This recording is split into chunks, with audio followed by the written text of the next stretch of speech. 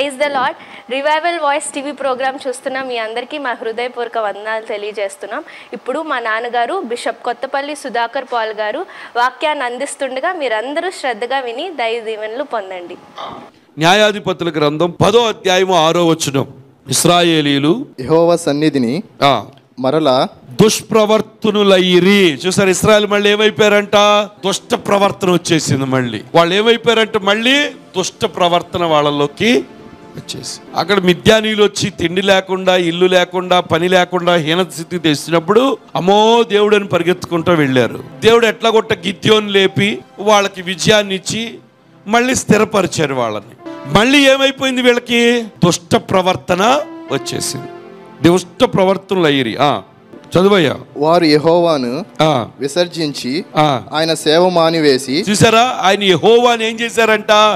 విసర్జించి ఆయన సేవ కూడా ఏం చేశారు? ఈరోజు చాలా మంది కూడా దేవుని పని అంటే చాలా నిర్లక్ష్యం గర్వంగా ఉంటారు. ఇప్పుడు మందిరం తుడవాలనుకోండి మందిరం పని చేయాలి. దేవుని పని పట్ల దేవుని అట్లాగే సువార్తకు వెళ్ళాలి.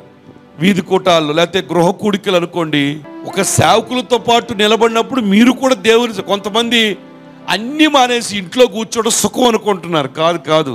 అది చాలా నష్టం తెస్తుంది మీకు. దేవుని పనిని వదిలేసి నువ్వేం చేసావు? సుఖాన్నే దేవుడిగా చేసుకుని బ్రతు. ఒకవేళ నడవలేని పరిస్థితి మంచాన్ని బెడ్ రెడీని అయిపోయావు కాలు చేతులు కదపలేక అన్ని కూడా బెడ్ ప్యాన్ పెడుతూ పట్టుడప్పుడు ఎవరు రమ్మనరు. నీ కడుపుకి లేకపోతే నీ కుటుంబం అన్ని బాగానే చేసుకుంటావు. కానీ దేవుని పనికి మాత్రం వీళ్ళు ఏం చేశారు? దేవుని సేవ కూడా మానేశారు. ఆ, తర్వాత చదవండి. బయలులు ఆ, అస్తారోతులు చూడండి వారు దేవుని సేవ మానిచేసి బయలులు అష్టారోతులు అను సిరియను. దేవతలను సిదోనీయుల దేవతలను మోయాబీల దేవతలను అమోనీయుల దేవతలను ఫిలిస్తీన్ల దేవతలను పూజించుచు. వచ్చారు. చూసారా? కుక్కతాకు వంకర అన్నట్టు. మళ్ళీ వాళ్ళ బుద్ధి ఏమైపోయింది? సేమ్ ఈరోజు ప్రజలు కూడా అలాగే. ప్రాణం మీదకి రాగానే దేవుడు దేవుడు ప్రార్థన ఎక్కడ ఏ పాస్టర్ కనబడితే అక్కడ ప్రార్థన ఏ కూటం పెడితే ఆ కూటం. ఒకవేళ హిమాలయాల్లో పాస్టర్ గారు స్వస్థపరుస్తున్నాడు అక్కడికన్నా పరిగెత్తుకెళ్ళిపోతారు. బ్రతకాలని. అన్నీ బాగున్నప్పుడు దేవుడు మాత్రం ఆరోగ్యం బాగున్నప్పుడు సమృద్ధి ఉన్నప్పుడు అసలు దేవుని చెంతే లేకుండా దేవుని సేవే మర్చిపోయి ఇష్టానుసారంగా బ్రతుకుతూ ఉంటారు. దానివల్ల జరిగే నష్టం మళ్ళీ చూద్దాం మనం. మీకు మీకు చూపిస్తున్నాను. ఎందుకంటే దేవునికి ఇవ్వవలసిన ప్రయారిటీ ఇవ్వకపోతే మీరు పైకి రారు. దేవునికి ఇవ్వవలసిన ప్రాధాన్యత నువ్వు ఇవ్వకపోతే నువ్వు పైకి రాలేవు. నీ జీవితం ఎలాగుంటుందంటే ఇల్లు లేని స్థితిలో ఉంటావు. అంటే నిరాశ్రయులుగా ఉంటావు. నీ తినటానికి కూడా తిండి ఉండదు. నీ విత్తనాలన్నీ పాడైపోతాయి. పని లేని జీవితం అయిపోద్ది. హీన స్థితిలో నువ్వు ఉంటావు. దేవునికి స్తోత్రాలు చెల్లిద్దా. హలే లూయా తర్వాత చూడండి. ఏడోది. యహోవా కోపాగ్ని ఇస్రాయిల్ మీద నుండగా ఆయన ఫిలిస్తీన్లు చేతికి అమ్మోయుల చేతికి వారిని అప్పగించను గనుక వారు ఆ సంవత్సరంలో మొదలుకొని ఇస్రాయేల్ను అనగా యోర్తాన్ అవతలనున్న గిలాదునందరి అమోరీల దేశములలో కాపురం ఉన్న ఇస్రాయేలును పద్దెనిమిది సంవత్సరములు చితగా కొట్టి అణిచివేసిరే. ఎవరు చితక కొట్టారు ఇప్పుడు అపవాదిగాడు చితక్ కొడతంటే చాలా మంది దేవుడు తెలుసు? దేవుడు చితక్ కొట్టాడు అనుకుంటున్నారు. దేవుడు మాకేంటో ఈ శోధన కాదు కాదు కాదు దేవుడు కాదు. నువ్వే ద- దెయ్యం వైపు తిరిగిపోయావు కాబట్టి అపవాదిగా నిన్నేం చేస్తున్నాడు? వీళ్ళు దేవుణ్ణి వదిలిపెట్టి ఎవరెవరు వెనక్కి తిరిగారు? కనపడిన చెట్టుని కనపడిన విగ్రహాన్ని విగ్రహం అంటే మనం చెప్పాను. నేను ఒకవేళ నువ్వు చెట్లు రాళ్ళు రప్పలు పూజించకపోవచ్చు. దేవుడికి ఇవ్వవలసిన స్థానం ఇవ్వకుండా ఏది నీకు అడ్డుపడుతుందో అది నీకు విగ్రహం. దేవునికి స్తోత్రాలు చెల్లిద్దాం. ఆ విగ్రహం నిన్నేం చేస్తుంది లాస్ట్కి? న్యాయాధిపతుల గ్రంథం పదో అధ్యాయము ఎనిమిదో వచ్చిన చివరి ఉంది. పద్దెనిమిది సంవత్సరములు చితుక కొట్టి అణిచివేసిరి. మరియు అమోనీలు యోధా దేశ దేశస్థులతోనూ బెన్యామిలతోనూ ఎఫ్రాయిములతోనూ యుద్ధము చేయుటకు యోర్దానును దాటిరి గనుక ఇస్రాయేలులకు మీకు శ్రమ కలిగెను. యహోవాను విడిచి వేరొక అనుసరించు వారికి శ్రమలు విస్తరిస్తాయి. నిన్ను చిత కొడతారు నిన్ను అణిచివేస్తారు. దేవుళ్ళలోనే నీకు భద్రత ఉంది ప్రభువులైన నీకు కాపుదల ఉంది. యోబుకు దేవుని కంచి తీసివేయగానే సాతానుగాడు యోబుని ఏం చేశాడు? చిత్త కొట్టాడు పిల్లల్ని చంపేశాడు. ఆస్తి లాగేసుకున్నాడు. ఒళ్ళు మొత్తాన్ని కురుపులు చేశాడు. అంతకుముందు యోబు ఎంతంత మంచి పరుపుల మీద పడుకునేవాడు. ఇప్పుడు బూడిదలో కూర్చుని చీముల్లోంచి రసి పురుగులు వస్తుంటే చిల్ల పెంకుతో గిక్కుంటూ కూర్చున్నాడు. దేనికి స్తోత్రాలు. అపవాదిగాడు చేసే పని అది. దేనికి స్తోత్రాలు చల్లి. హలేలుయా వీళ్ళు దేవుణ్ణి మర్చిపోయారు మళ్ళీ. నీ జీవితంలో ప్రభు నువ్వు మర్చిపోతే సాతానుగాడు చిత్త కొట్టడం గ్యారంటీ నిన్ను. ఒకవేళ ఈరోజు చిత్త కొట్టబడతాం దేవుణ్ణి మర్చిపోయావేమో. నెమ్మది లేదండి. ఒంట్లో ఆరోగ్యం లేదండి.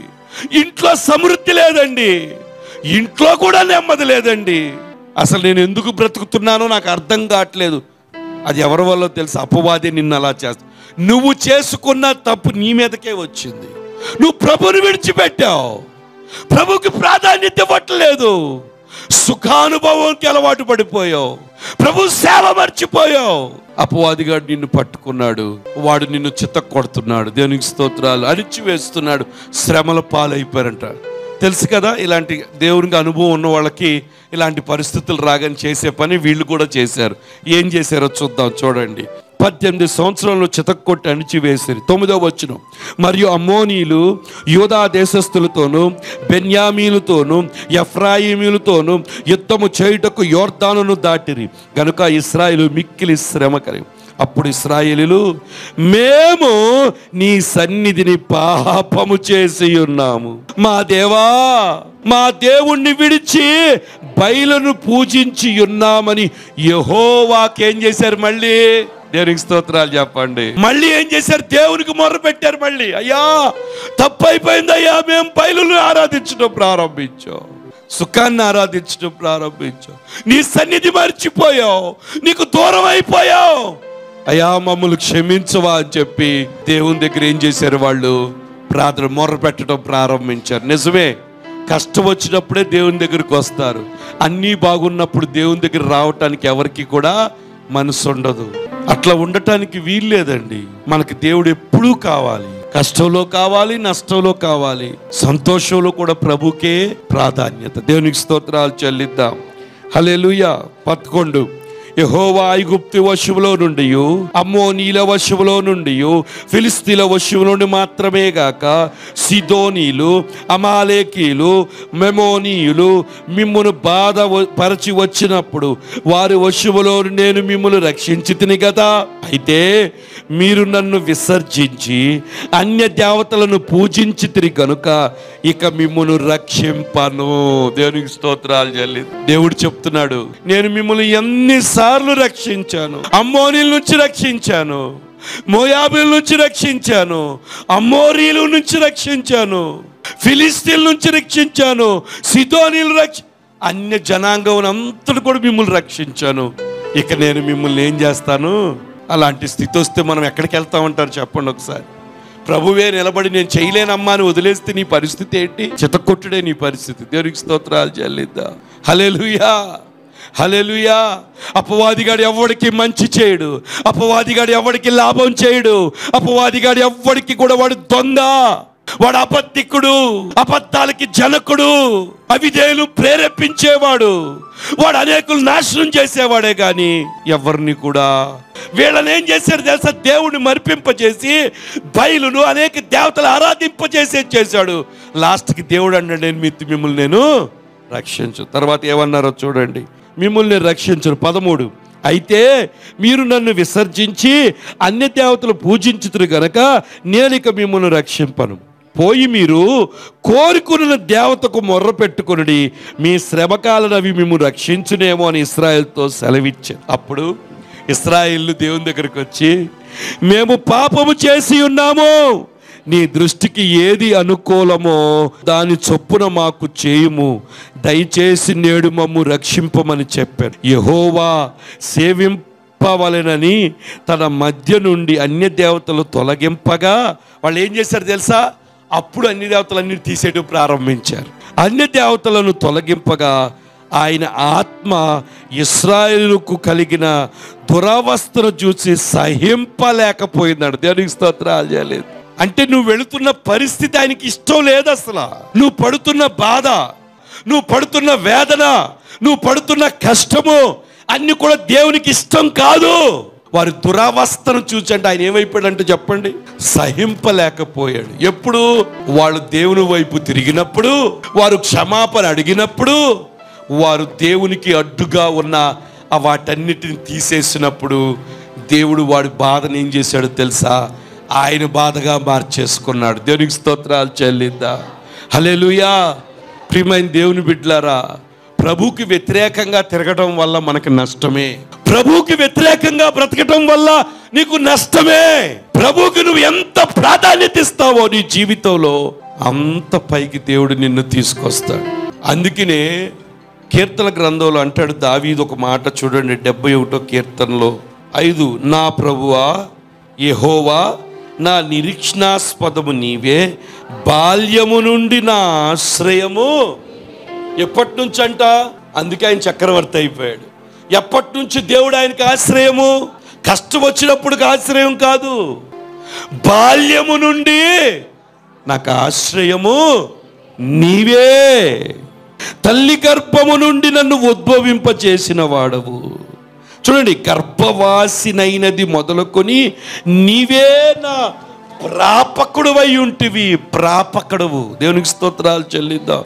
ఇంగ్లీష్లో my trust from your youth my youth అన్నాడు ఫ్రమ్ మై యూత్ ప్రాపకుడు అంటే ఇంగ్లీష్లో ట్రస్ట్ అంటే నేను గర్భవాసి మొదలుకొని కూడా నేను నిన్నే నమ్ముకుంటున్నాను. నా బాల్యములో కూడా నువ్వే బాల్యము నుండి నాకు ఆశ్రయము నువ్వే.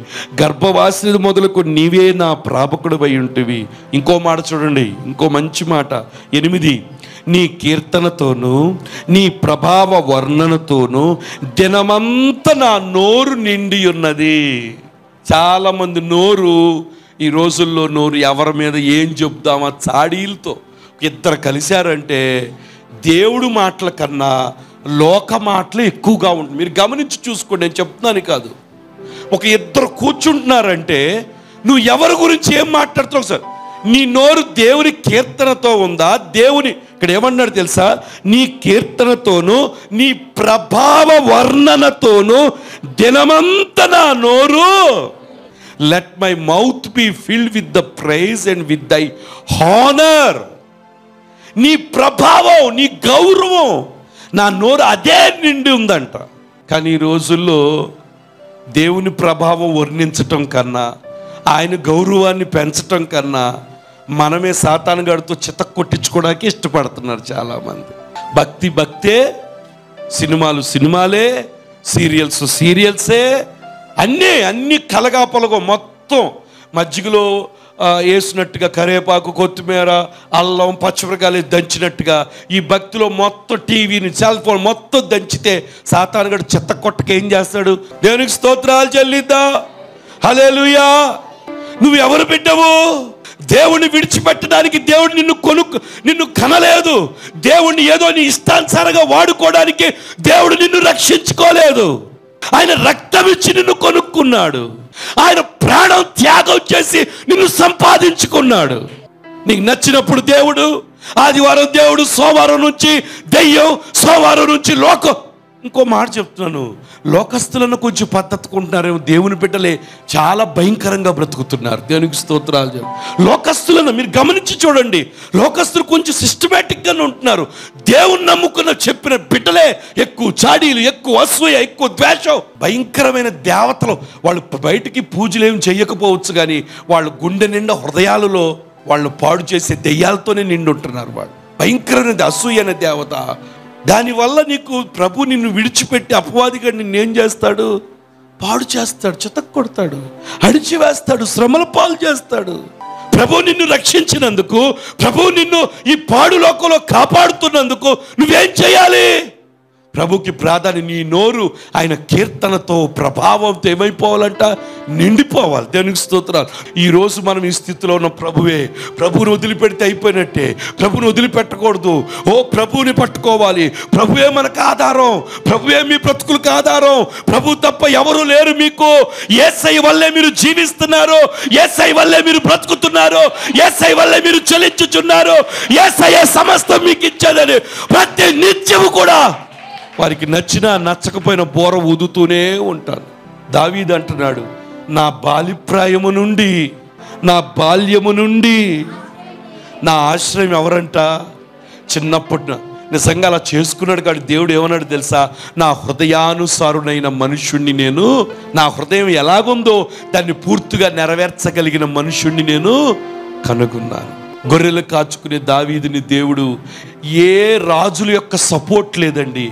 ఏ రాజులు కూడా ఆయన్ని పైకి తీసుకురాలేదండి. ఏం బ్యాక్గ్రౌండ్ లేదండి. కానీ ప్రభు ప్రభు బ్యాక్గ్రౌండ్ ఉంది. ఆయన్ని దేవుడు చక్రవర్తిగా చేసేసాడు. దేవునికి స్తోత్రాలు చెల్లిద్దా. హలేలుయా హలేలుయా ఒకవేళ నీకు ఎవరు రికమెండేషన్ లేకపోవచ్చు ఎవరు ఒకవేళ నీది నిజంగానే కనిష్టమైన కుటుంబం అవ్వచ్చు లేకపోతే నీ గోత్రం అందరికన్నా తక్కువ అవ్వచ్చు ఇవన్నీ ఉన్నప్పటికీ కూడా ప్రభు నీతో ఉంటే ప్రతి విషయంలో కూడా దేవుడు నిన్ను తలగానే ఉంచుతాడు అనేకులకు ఆశీర్వాదకరంగా మారుస్తాడు. దేవుని విడిచిపెట్టావా? ప్రతి వాళ్ళు నిన్ను చితక్ కొడతారు దేవునికి స్తోత్ర. రోగం నిన్ను చితక్ కొట్టుద్ది ఆర్థిక ఇబ్బందులు నిన్ను చితక్ కొడతాయి ఓ సమాధానం లేని బ్రతుకు. ఎప్పుడు చూసినా భయమే. భయం భయం భయం భయముతో బ్రతికే వాళ్ళుగా ఉంటారు దేవునికి స్తోత్రాలు చెల్లిద్దా. నీలో ఉన్నవాడు లోకంలో ఉన్నవాని కంటే భయపడాల్సిన అవసరం మనకి. దేవుణ్ణి వదిలేస్తే నీకు నష్టం. దేవునికి స్తోత్రాలు. ప్రభు మందిరం వదిలేస్తే నీకు నష్టం. ప్రభు సన్నిధి వదిలేస్తే నీకు నష్టం. ప్రభు సన్నిధికి రాకుండా ఇష్టానుసారంగా బ్రతికితే నీకు నష్టం. ఒకవేళ వెంటనే తొలగిపోవచ్చు. కానీ ఒక దినానా అది నీకు కనపడుద్ది. దేవునికి స్తోత్రాలు చేయలేదు. మహోన్నతుని చాటు నివసించు వాడే సర్వశక్తిని నీడను వేటకాని ఉరి నుంచి వేటగాడు తిరుగుతున్నాడు బయట. అపవాది తిరుగుతున్నాడు బయట. ఏ నిమిషంలో ఏం పట్టుకుంటాడో తెలియదు ఏ అవయవాన్ని పాడు చేస్తాడో తెలియదు ఏ ప్రాణాపాయ స్థితిలోకి తీసుకెళ్తాడో తెలియదు ఎటువంటి స్థితిలోకి నిన్ను నెట్టేస్తాడో తెలియదు అట్లా స్థితికి వెళ్ళకుండా ఉండాలి అంటే నువ్వు మహోన్నతుడు చాటును ఏం చేయాలి తెలుసా? నివసించాలి ప్రార్థన చెయ్యాలి వాక్యం చదువుకోవాలి ప్రభు సన్నిధికి రావాలి క్రమాలకి రావాలి. పదమూడు వచ్చినలోనే అయితే మీరు నన్ను విసర్జించితిరి అన్య దేవతలు పూజించితిరి కనుక నేను ఇక మిమ్మల్ని రక్షింపను. పోయి మీరు కోరుకొనిన దేవతలకు మొర్ర పెట్టుకొనుడి మీ శ్రమకాలం అవి మిమ్మల్ని రక్షించునేమో అని ఇస్రాయల్తో దేవుడు చెప్పాడు. వెళ్ళి మీరు ఏదైతే అన్నారు అది రక్షిస్తే వెళ్ళండి వెళ్ళండి అని చెప్పి దేవుడు చెప్తున్నాడు. అయినా కానీ వాళ్ళు మేము పాపం చేసి ఉన్నామయ్యా. నీ దృష్టికి ఏది అను ఆఖరికి నీకు ఏది అనుకూలమో నువ్వే చేయమనగానే వారి దగ్గర ఉన్నవన్నీ కూడా తీసేసినప్పుడు దేవుని ఆత్మ అంట వాళ్ళు కలిగిన బాధ తట్టుకోలేకపోయిందంట. దేవునికి స్తోత్రాలు చెల్లిద్దా. సహింపలేకపోయిందంట. అందుకే పరిశుద్ధ రక్షింప నేరకుండానట్లు హెహోవా హస్తము విననేరకుండానట్లు ఆయన చెవులు. కానీ మీ దోషములు మీకును నాకును ఎప్పుడైతే వీళ్ళు ఏం చేశారో తెలుసా? ఆ యొక్క తీసేశారో బయటపడేశారో దేవునికి అయిష్టమైనవన్నీ తొలగించుకున్నారో దేవుడు వాళ్ళ బాధను చూచి సహింపలేకపోయాడండి. దేవునికి స్తోత్రాలు చెల్లిద్దా. ఆయన ఆయన ఆత్మ ఇస్రాయేల్ను కలిగిన దురవస్థను చూచి సహింపలేక పోయెను. దేవునికి స్తోత్రాలు చెల్లిద్దా. ప్రియమైన దేవుని బిడ్డలారా ప్రభు మనల్ని ఏ విధంగా అయినా సరే రక్షించాలని ఇష్టపడుతున్నాడు. ఏ విధంగా నిన్ను లేపాలని ఇష్టపడుతూ ఉన్నాడు. ఏ విధంగా నా రోగాన్ని తగ్గించాలని ఇష్టపడుతున్నాడు. ఆయనకి ఎంతో ఇష్టం. నువ్వు రోగంలో ఉండటం ఆయనకి ఇష్టం కాదు. నువ్వు ఆ బాధలో ఉండటం ఆయనకి ఇష్టం కాదు. ఆ వేదనలో ఉండటం ఆయనకి ఇష్టం కాదు. ఆ యొక్క ఆర్థిక ఇబ్బందులు గుండా వెళ్ళటం ఆయనకి ఇష్టం కాదు. ఏ విధంగా అయినా నిన్ను తప్పించాలని ఇష్టపడుతున్నాడు. కానీ నువ్వు చేయవలసిన పని ఏంటో తెలుసా? నువ్వు ఆయనకి ప్రాధాన్యత ఇవ్వాలి ఆయన దిక్కలే ఆయన దగ్గరికే రావాలి. ఆయన సన్నిధిలో నువ్వేం చేయాలో తెలుసా? అయ్యా నువ్వేలా తిక్కొని నువ్వు మొర్ర పెడితే ఆయన నీ పరిస్థితిని ఏం చేస్తాడో తెలుసా? ఇస్రాయల్ మొదటిగా మిథ్యానీలు ప్రాబ్లం క్రియేట్ చేసినప్పుడు మొర్ర పెట్టారు. దేవుడు గిద్యోని లేవనెత్తాడు. ఇస్రాయల్ ఐగుప్తి దేశంలో ఫరోతో బాధపడుతూ ఉన్నప్పుడు వాళ్ళు మొర్ర పెట్టగానే వాళ్ళలో నుంచే ఆ ప్రాంతంలో నుంచే ఆ దేశంలో నుంచే మోషేని దేవుడు లేవనెత్తాడు. కాబట్టి ప్రియమైన దేవుని బిడ్డలారా ప్రభు మిమ్మల్ని స్వస్థపరచాలని ఇష్టపడుతున్నాడు. ప్రభు మిమ్మల్ని లేవనెత్తాలని ఇష్టపడుతున్నాడు. ప్రభు మిమ్మల్ని నిలబెట్టాలని ఇష్టపడుతూ ఉన్నాడు. ప్రభు మీకు సహాయం చేయాలని ఇష్టపడుతూ ఉన్నాడు. ఆ యొక్క ప్రభు చిత్తం మీ పట్ల నెరవేర్చబడాలి అంటే నువ్వు చేయాల్సిన పని ఏంటో తెలుసా? ప్రభుకి ప్రాధాన్యత నువ్వు ఇవ్వాలి. ఆయన సేవలో నువ్వు పాలి భాగస్తులుగా అవ్వాలి. మొదట చెప్పాడు ఏమని చెప్పాడు? ఇస్రాయిల్ యహో సన్నిధిని మరలా దుష్ప్రవర్తనలు అయ్యిరి ప్రవర్తన మార్చుకోవాలి. వారు యహోవాను విసర్జించారు. వారు యహోవాని విసర్జించి ఆయన సేవ మానివేశారండి దేనికి స్తోత్రాలు చెల్లిద్దాం. ప్రవర్తన మీరు నా తట్టు తిరగండి నేను మీ తట్టు. ఎవరైతే ఆయన తట్టు తిరుగుతారో వారి జీవితాలు ఆయన వారు తట్టు తిరిగి నిజంగా వీళ్ళ తట్టు తిరగని దేవుడు తిరిగాడా లేదా? తిరిగి సహించలేకపోయాడంట. ఇస్రాయల్కు కలిగిన దురవస్థను చూచి పదహారో వచ్చిన సహింపలేక పోయెను. దేవునికి స్తోత్రాలు చెల్లిద్దాం. నిజంగా మన పరిస్థితులు చూచి సహించకుండా ఉండాలి అంటే మన ప్రవర్తన మనం ఏం చేయాలో తెలుసా? మార్చుకోవాలి. ప్రభుకి ప్రాధాన్యత ఇచ్చే ప్రవర్తన రావాలి. ప్రభుకి ప్రభు ప్రభు సన్నిధిలో సమయం గడిపే ప్రవర్తన రావాలి మనకి. ఒక విడదీరాని అనుభవంలోకి మనం ఏం చేయాలో తెలుసా? వెళ్ళాలి. సమయం ఉన్న అసమయమైనా ఎప్పుడు సమయం ఉంటే అప్పుడు ప్రభు సన్నిధిలో కూర్చుని ఏం చేయాలి తెలుసా? నువ్వు ప్రభుకే విన్నపించుకోవాలి. దేనికి స్తోత్రాలు చెల్లిద్దాం. హలేలుయా తర్వాత ఏం చేశారు తెలుసా? వారు యహోవాను విసర్జించారంట. మనం దేవుణ్ణి విసర్జించకూడదు. ఎవరిని విసర్జించాలి? సాతానగడి క్రియలన్నిటిని కూడా మనము ప్రవర్తన మార్చుకోవాలి. దేవునికి అయిష్టమైన పనులన్నిటిని కూడా మనం ఏం చేయాలి? విసర్జించాలి. వదిలేయాలి వదిలేయాలి. విసర్జించడం అంటే మళ్ళీ తెచ్చుకోకూడదు. వాటిని వదిలేయాలి ఇంకంతే. దేవునికి అయిష్టమని వదిలేసేయాలి. ప్రవ్వా నీకు ఇష్టం లేని పని నేను చేయనయ్యా. నీ ఇష్టమే నేను చేస్తాను. మీరు ఏది చెప్తే నేను అదే. బిలాము దేవునికి ఇష్టం లేని పని చేశాడు. దేవునికి స్తోత్రాలు చెల్లిద్దా. దేవునికి ఇష్టమైన పనే మనం చేయాలా? దేవునికి ఏది ఇష్టమో అదే మనం చేయాలి. అంతేగాని మన సొంత ఆలోచనలు పెట్టడానికి ప్రభు ఏది చెప్తే అదే మనం చేయాలి. బాణాలు నింపమంటే నింపాలంతే. పొయ్యమంటే పొయ్యాలంతే. అంతేగా నీ ఆలోచనలు నీ జ్ఞానం పెట్టి మనం ఎంత మాత్రం కూడా చేయకూడదు. దేవునికి స్తోత్రాలు చెల్లిద్దాం. యహోవాను విసర్జించారంట. ఆయన సేవను ఏం చేశారు వాళ్ళు? మానివేశారు. దేవుని సేవలో మనం ముందుకు సాగాలి.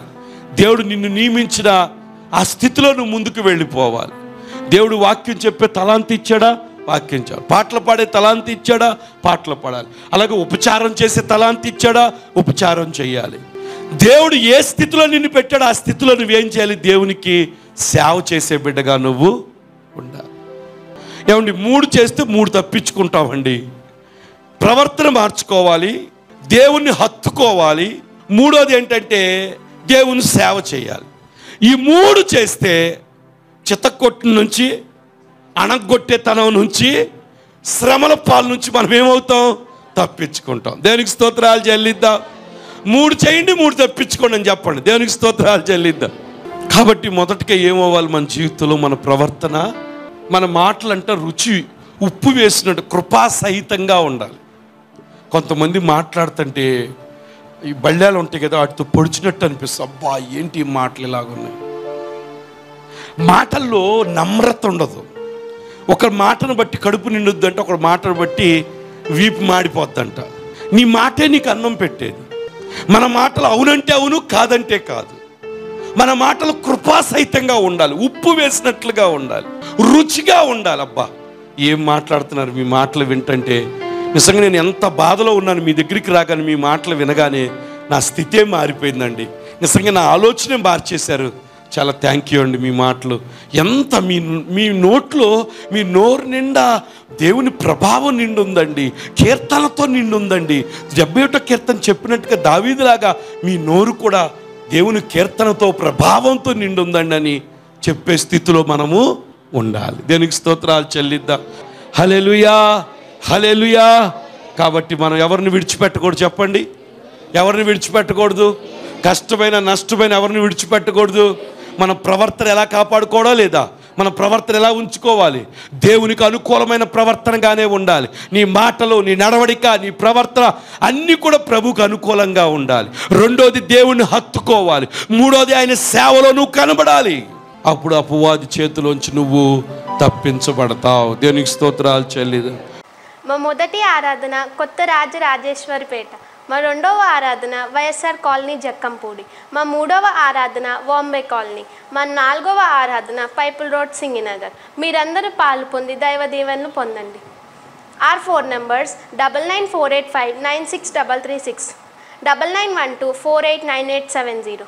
Our address bishop Kothapalli Sudhakar Paul గారు revival prayer ministries. Seventy seven dash two dash one oblique one Shantinagar Singh Nagar Vijayawada fifteen. Thank you. thank you